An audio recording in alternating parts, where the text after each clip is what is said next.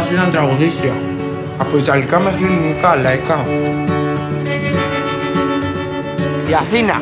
Απογέλασε. Από αυτήν πήρε και ο Οδυσσέας. Δεν σου είχα πει να μην έρθεις Αθήνα; Ήρθα. Αυτή έτσι κι αλλιώς δεν φαινόμαστε Αλβάνοι, μωρέ. Ναι, αλλά εσύ φαίνεσαι πούστης και αυτό παίζει να είναι και χειρότερο. Λίγο πριν πεθάνει η μαμά, έμαθε πως ο ακατανόμος του ζει. Έχει κάνει και λεφτά, ε. Dani Harroe, nunca έχεις τον παπά, τι κιόβε!